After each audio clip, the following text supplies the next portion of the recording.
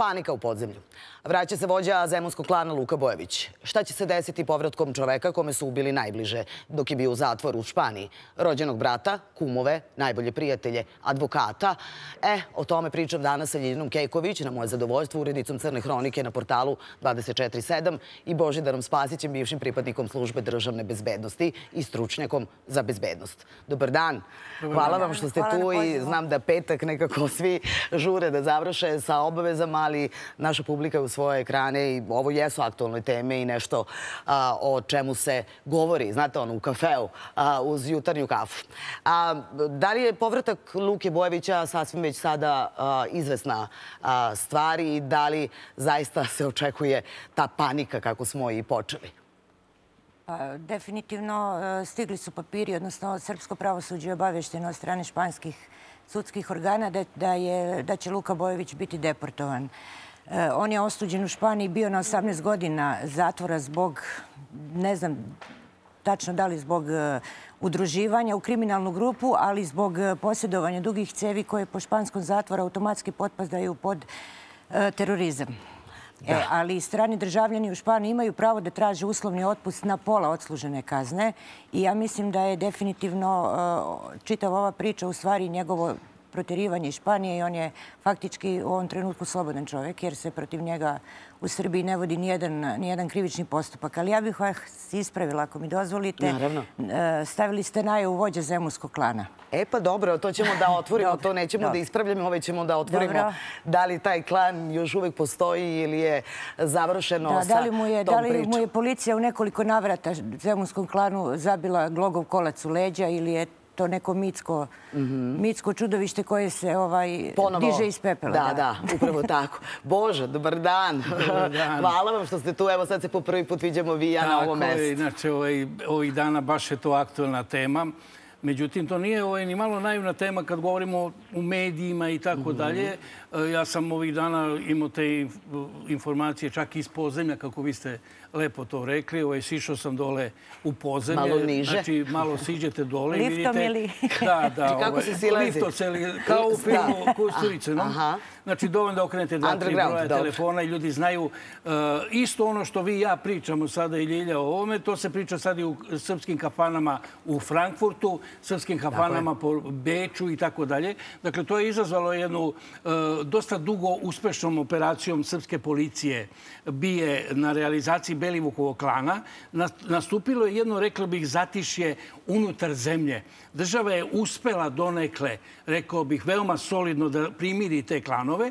Ono što je ostalo uh, živo od tih međusobnih obračuna, otišli su u Napolju i mi smo videli, imali smo obračune i u Atini i u Istanbulu nedavno, je tako, gdje je ubijen jedan od Africi također. Članova klana imate u Latinskoj Americi, ima u Južnoj Americi mhm. i tako da. E sad, s obzirom na činjenicu da se to primire, ovaj, uh, takav utisak se steklo, eto, nema više. Sad ova najava da Luka Bojević Bojović se vraća, on ovaj, e, svakako predstavlja jedno lice koje je ostavilo mnogo potpisa na neke stvari od 2000. godine, ne samo u kriminalnom pozemlju, nego generalno i u tom evropskom pozemlju, ali nije stavio nigde pečat, hoću da objasnim, znači, za mnogo što šta se sumničio, ali ga sud nije gotovo u novim prostorima, ni za što ga nije osudio. Tako da on je ostavljao pečate, ljudi su, ljudi su misli da je, e, da je to tako. I sad kad govorimo, Luka Bojević je slobodan čovjek, može da dođe, stvarno on može da dođe u Srbiju kad god hoće. Imaće problem, naravno, on nema putne isprave, može to da izvadi u, i u Madridu ili bilo, bilo gde. Ali, rekla, da, tako, ali mm poenta je ovaj, da ni jedan od tih pripadnika mafijaških skupina, Luka Bojević je svak svakako jedan od pripadnika mafijaške skupine prethodnog tog klana o kojoj si spomenula, mhm. ali kasnije se on vezuje za škaljarski klan i za, za te grupu tih, kako ih mi nazivamo, pretpostavljamo da je to to. I ovaj, oni nikad nisu slobodni. Dakle, mhm. uvek će živeti u strahu, uvek će živeti sa telohraniteljima, uvek će živeti sa 16 kamera ispred e, kuće, sedeti u televizoru i gledati te kamere da mu neko nije prišao. Ako mu žena i deca negde idu, vodit će računa da sa njim budu telohranitelji. No i to je pokazalo se kao nesigurno, evo u slučaju Jovana Vukotića, koje u sve te mere bezbednosti niko nije mogo da mu priđe naprosto ovaj, likvidiran. Tako da e, nikad oni nisu više slobodni. Ili kaže, znate, Luka sad dolazi u Srbiju, pa on neće više teme da se bavi. Ja imam jednu rečenicu, to moje iskustvo govori. Šta kaže? Momak, ti si to tome treba da misliš kad si imao 20 godina, ti si debelo za rozo u te i ovo što je interesantno, verovatno ćemo razviti tu tezu. Mhm. Govori se da bi se Luka Bojević mogao osvetiti nekim ljudima. Znači, to se govori u tom pozemlju o kome sam govorio, ali se isto tako govori da i Luku Bojevića čekaju. Tako da mi imamo jedan pata karte i odmah da skrenem samo još jednu pažnju. Njegov dolazak u zemlju ne predstavlja nikakav bezbednostni problem. Ni po naše građane, ni po državnu bezbednost, znači da se nešto dogodi. Ovo je više, eto tako, jedan događaj u pozemlju koji može da da neke pečate nove ili verovatno... Tičem utisak da Ljilja malo drugačije posmatra ovaj, po pogledu ovaj, intuicije ovoj ženskoj, malo drugačije pa posmatra ovaj dolazak Boža kaže da je u sve te mere se uh, Jovica Vukotić mhm. krio u Turskoj. Mhm. A opet ja imam neku moju teoriju da Jovica Vukotić apsolutno nije nikakav vođa škaljarskog klana, nego je samo osoba isturena, odnosno osoba koju je Europol izbacio na površinu i onda je krenuo obračun, označen je iz nekih krugova. I zapravo onda bio meta. Kriminalno-policijskih i bio meta. Vidjeli smo ovaj, kako se on čuvao nikako. Ubili su ga u papučama za plažu mhm.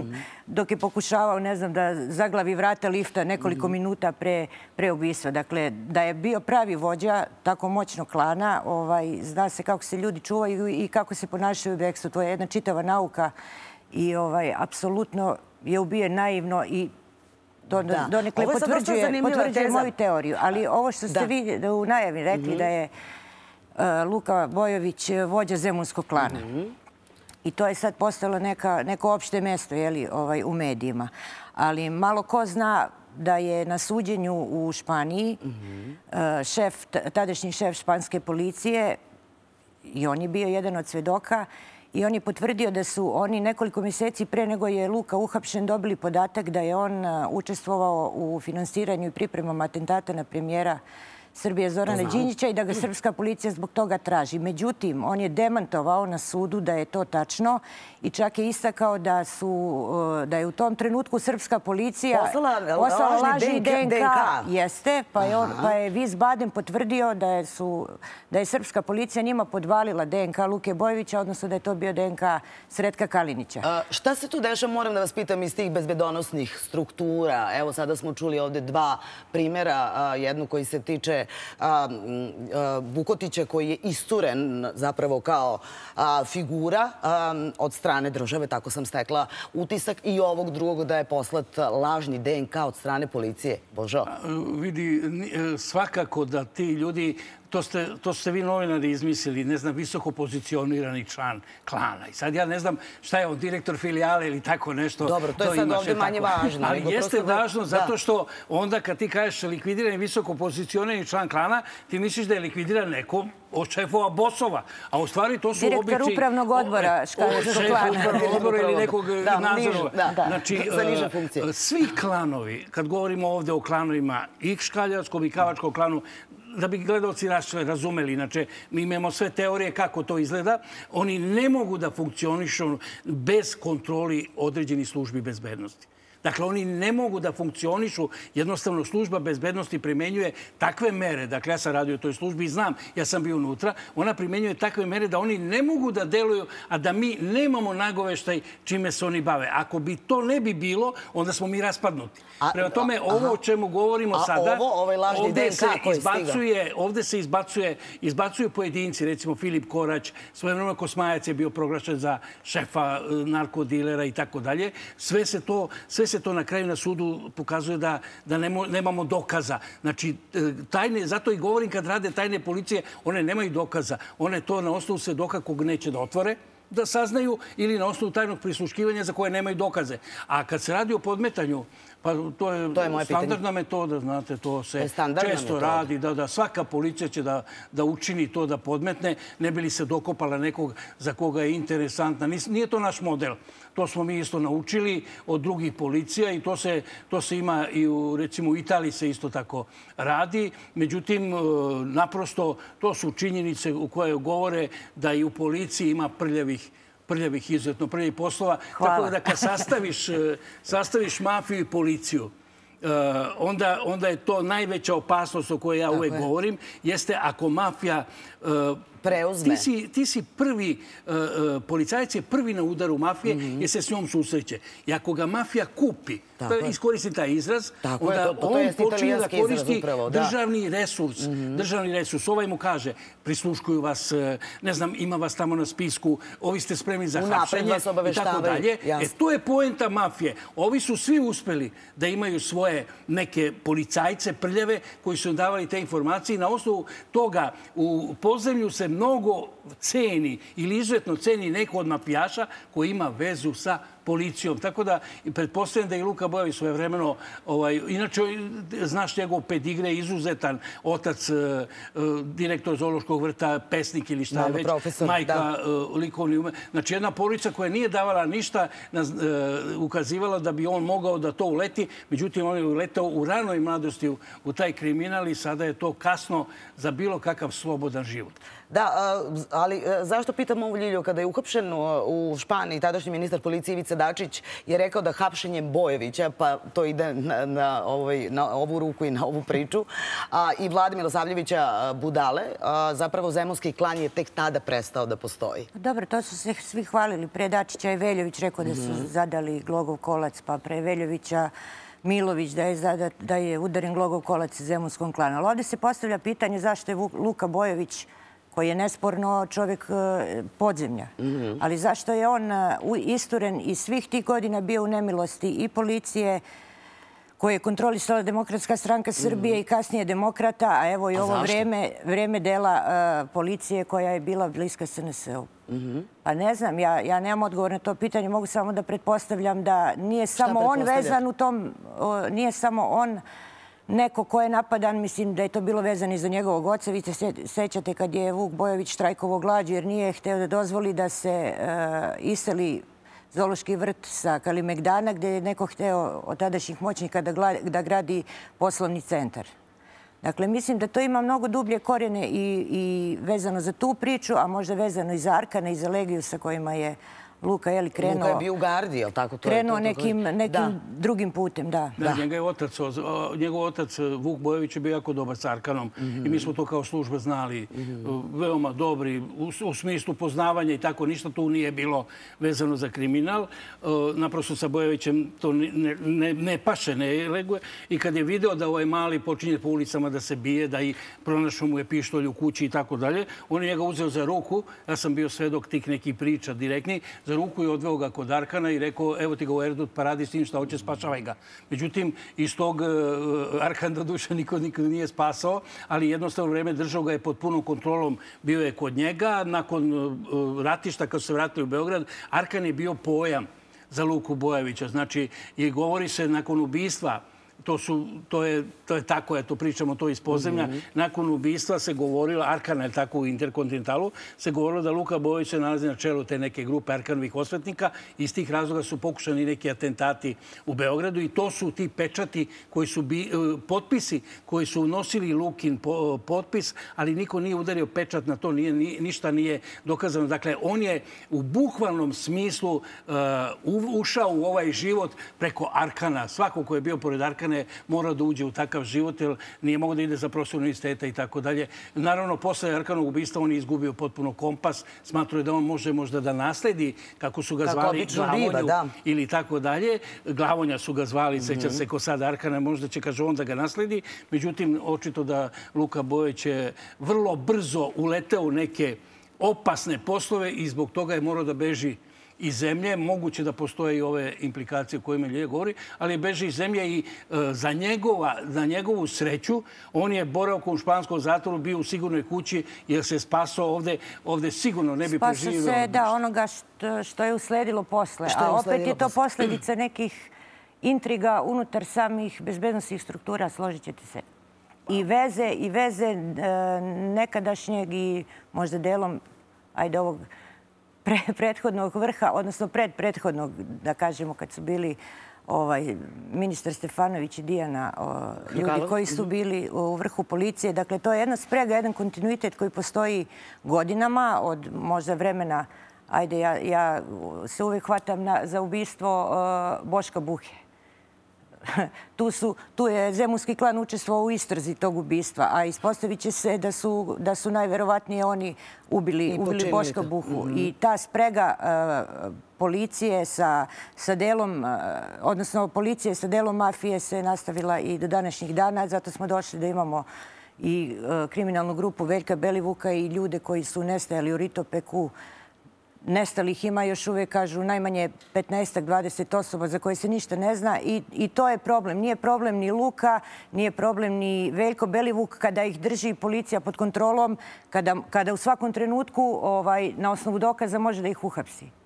Ovdje je problem nešto sasvim mnogo veći. Problem je neki centar moći, verovatno poduproti i nekim ljudima iz svijeta biznisa o kojima smo vi i ja pričali neformalno pre početka emisije. Mhm. Tako da mislim da smo u vrlo nezavidnoj situaciji što se toga tiče. Da, tako da, ovaj, ali evo kako na tom nivou negde sada kad govorimo o svim tim izgubljenim ljudima iz njegovog okruženja, da ne pričam ovaj, o ubistvu rođenog brata, pa kumova, pa prijatelja, pa advokata, Ovaj, mislim, očekuje se da će postojati neka vrsta reakcije. Potpuno logično, božo, zar ne? Pa, sasvim logično i ja se i ne bunim. Ovaj, ja kažem, to su njihovi poslovi. E, samo e, morat će da vodi računa da onoliko koliko on želi da se osveti i neko drugi želi njemu da se osveti, tu nikom nisu. Ali očito da e, se sada pokušava da se nadoveže na ono što sam malo preti rekao, da se on tretirao kao neko ko je vođa osvetnika Arkana ubistva. Mhm. I sada će se on pojaviti ovde, znači u Luka je očito, Luka je očito sklon tim osvetama. I ovde ima ima nekog osnova e, sa njegovog aspekta gledišta. Aj stavimo se u njegovu kožu, ubili ste mi brata. Dobro, on je ubio nekom drugom brata i tako dalje, Šaranovića i tako dalje, ali ili njegova organizacija. Znači, postoji taj osnov za osvete, međutim, notorna je činjenica da su sad neka druga vremena. Sad su neka druga vremena i debelo će razmisliti o svemu tome. Drugo, mislim da će, e, to moram da kažem, znači profesionalno, e, njegovim sletanjem na Beogradski aerodrom, ako dođe tako, bit će stalno pod kontrolom organa bezbednosti naše države. Nećemo mi dozvoliti sigurno da nas se ponovi sve ovo. Ovo što smo sad spomenuli, evo ti recimo uzmi Beogradski, ovaj, Belivukov klan. Oni nisu mogli da funkcionišu bez zaštite policije. Pustimo blintirani automobil. Javi mu da je tamo na spisku. Sad kad ih pitaš, je li momce, jeste vi to davali u ovom Beljuku? Ja ga nikad u životu nisam vidio. Znam, Bože, ali ne može, to je neozbiljno. Pa- Jedna država tako da se ponaša... Ne može, ali tu pada upravo ovo što pada kao što pada Bojević. Ne možeš ti, šta da ja radim to nekom papiću ili kako se... Da, ali to se onda, već onda ovo pitanje koje ste, a vi tvrdite da su onda građani i bezbedni, da li možemo onda to da kažemo? Kažemo... Da, da li mi onda živimo da u Kolumbiji ili gde? U Kolumbiji gde bukvalno kao poput ubistva Boška Buhi koji se dogodilo u restoranu, sećam se tačno, u lokalu. Ispred hotela Jugoslavije. Na parkingu hotela Jugoslavije, pardon. Bilo je još jedno ubistvo, mama mi. Radovan Bajčić stoji. Bađa je ubijen. Bađa je Bađa je ministar vojni u restoranu.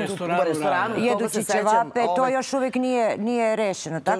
Tako da ne znam koliko koliko mi možemo da govorimo i da ulivamo sad baš građanima neku vrstu poverenja kada govorimo o bezbednosti. Pritom smo imali situaciju ispred Franša, to podizanje u sred belog dana automobila u vazduh.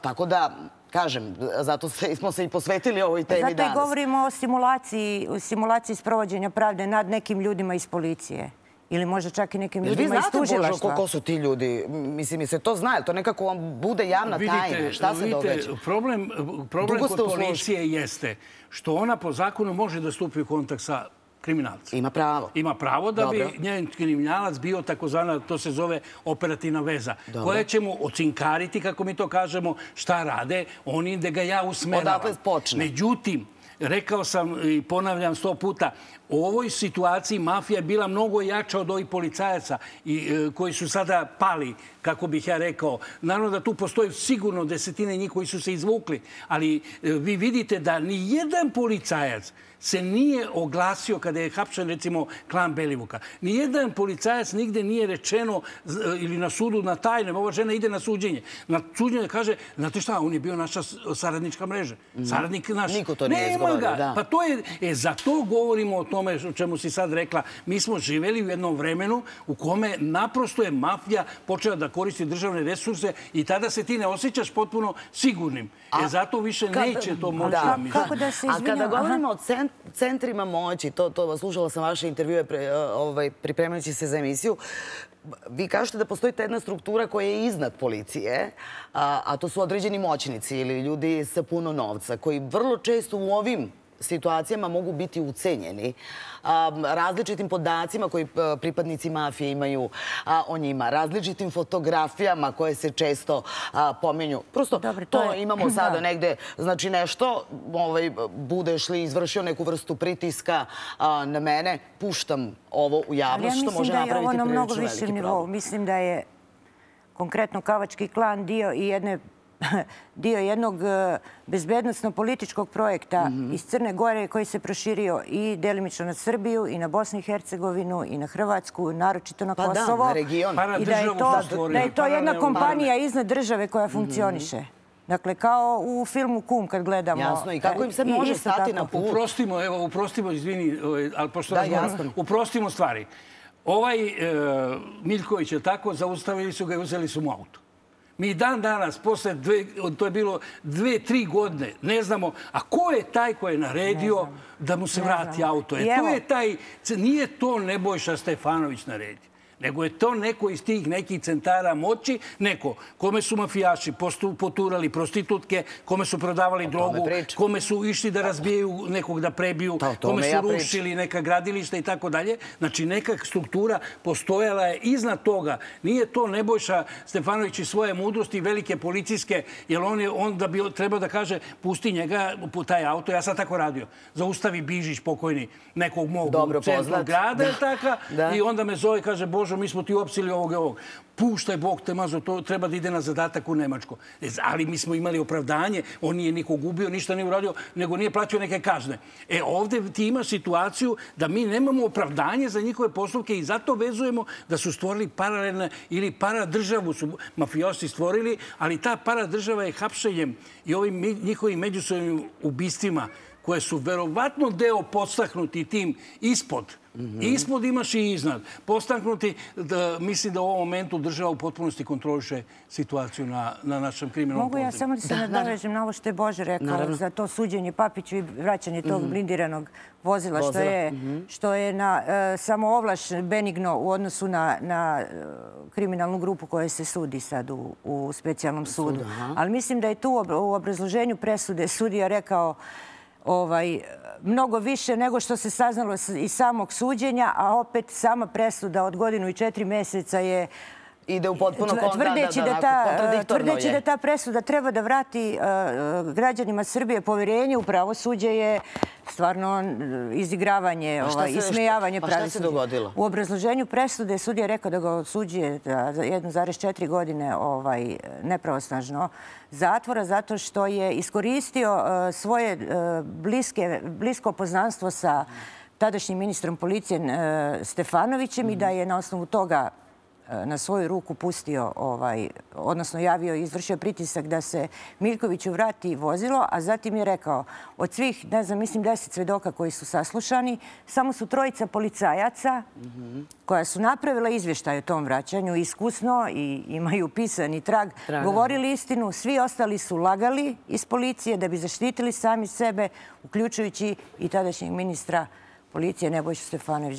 Dakle, to obrazloženje presude nam je reklo sve gde mi živimo i ovaj, koliko smo mi nemoćni još uvijek u odnosu na organizovani kriminal i ono što se i strukture kriminogene strukture u policiji ili u tužilaštvu možda pre? Postoje svuda, sigurno sam da su i u sudu i u tužilaštvu svoje vremeno, recimo, da bi asocirao, sećam se mhm. jednog istražu sudije, nikako da mu spomenem ime, on je recimo puštao puštao vodi, prijavi mu policija, on vodi istražni sudija u to vreme, to je taj sudija sada za prethodni postupak, vodi istragu i od njegovog izveštaja zavisi da će ići dalje postupak. Ja sam bio svedok da je jedan kriminalac iz podzemlja, veoma ugledan kriminalac, pod navodnicima je tako ugledan, je ovaj, kod tog sudije došao sa jednom kovertom. Ali toj koverti ja nisam, predavnom, ja u toj koverti nisam video novac.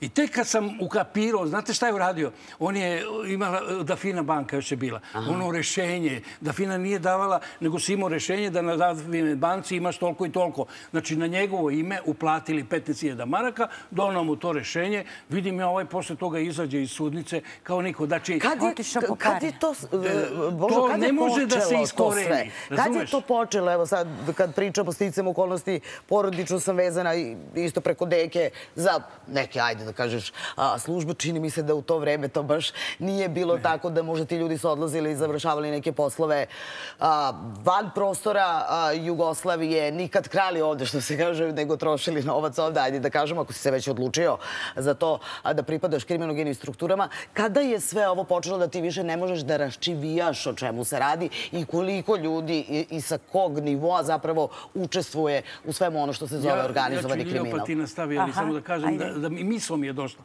Ja se e, raspadom Jugoslavije. Počeli su da formira, država je počela da formira parapolicijske snage. Arkan je imao službene legitimacije koje on potpisivo.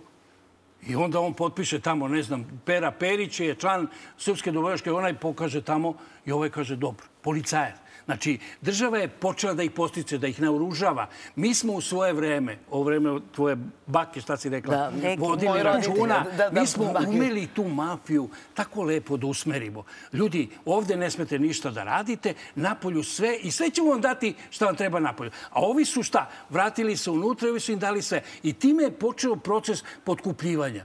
Policajci su, ti si moglo da vidiš, ja se rećemo sećam ko sad, jednom sam se zateko ko čumeta čuvenog u toj Sobanji, tamo što je on imao taj centar njegov.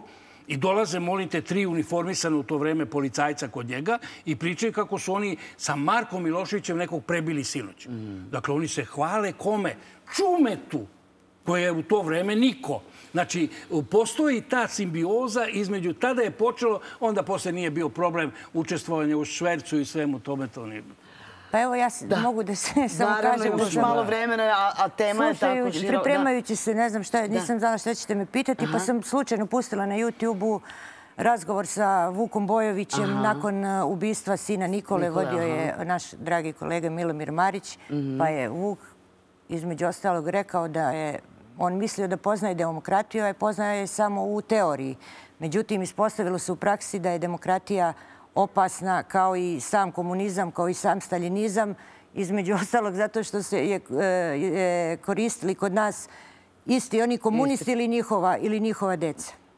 Da, to se često moglo čuti kao komentar, prosto da se ta ideologija nastavila. Sve je to prihvaćeno sa zapada. Senatore, jeste li vi na vezi sa mafijom? Pa je Amerika morala da donese zakon, Riko, čuveni njegov zakon, gde postoji sindikat policija, kriminalci i ostali. Na tome mi smo to uvezli s demokratijom i to će dugo da nas košta, ali da završim samo ja rečenicu vezano za Luku Bojovića. Građani je treba budu jako uznemirani. Ono je više tema koja je tako popunjava jednu prazninu koja se dogodila veoma uspešnim operacijama srpske policije. Kako vi vidite povratak Luke Bojevića? Ne znam šta bih vam rekla. Ovaj čovjek je slobodan. Ovdje mu se sudilo za dva ubistva, četiri pokušaja ubistva. Oslobođen je. Nadam se da neće biti krvi, ali ali ja sam uvek eh, optimista bez, bez pokrića. Da. To pripadanje klanovima i to ovaj, stano raščivjavanje, ozbiljno čovjek mora se pozabavi kada da bi shvatio, znamo šta se desilo i kako zapravo od jedne male grupe... Znate šta, mi ne znamo ništa, mi znamo mrvice. Dobro, ali ovaj, interesa, pa, pa zapravo ta jedna zaplena je napravila taj škaljarski i kavački klan i sada zapravo postoji pa ta priča... Ja mislim da je to priča za novinare, nas, to nam je bačena koska da se oko toga igramo, kako je neko... Kako je negdje ubijeno 50 60 ljudi zbog 200 kg kokaina. To ni jedna mafija, ni jedna služba ne bi dozvolila da se ovolika krv e, prolije, nego je prosto to odgovaralo da bi e, odgovaralo upravo onim centrima moći o kojim ja govorim, mm. da bi se kavački klan ovaj, vinuo tako visoko i da bi mogao mnogo više novca da zarađe, naravno kontrolisano sve od strane službi. Pa evo sad imam u Crnoj Gori, izvinjavam se, mhm. uhopšen je i sin eh, Petra Lazovića, nekadašnjeg šefa Bije, koji se smatra za kreatora ovih klanova u Crnoj Gori. Mnogo su se raširili, ovaj, ti vidiš da ih ima po Americi naših. Mi smo pocenili u jednom momentu naše podzemlje, misleći oni su šaneri, ovo ono. Evo onaj bokser 22 tone kokaina i samo jednu rečenicu. Taj bokser se sada vezuje u nekim krugovima koji analiziraju to za zvicera, to koga ne znamo gde je. Mhm. A e, taj bokser je vežbo kod braće Kličko boks. Sad kad pogledaš, analitičar. Mm. Samo bacam kosku. Evo jednu rečenicu. Bacam vam kosku. Evo jedna, jedna rečenica. Taj bokser je vežbao kod Klička. Dobro. A gde se krio Zvicer kad je bio u bekstvu? U Ukrajini. U Ukrajini. Analizirajte da, ljudi, da, da, mreža je, Da, ima tu mnogo uh, priča. Nekad nam deluju filmski, a u stvari smo tu učestnici. Svi smo mi film. Da, svi smo mi film. Srećom pa smo nesvesni. Da, srećom pa smo nesvesni. Veliko hvala uh, što ste nam uh, bili gosti i što ste nam pomogli da možda na bolji način razumemo sve ono što se dešava oko nas.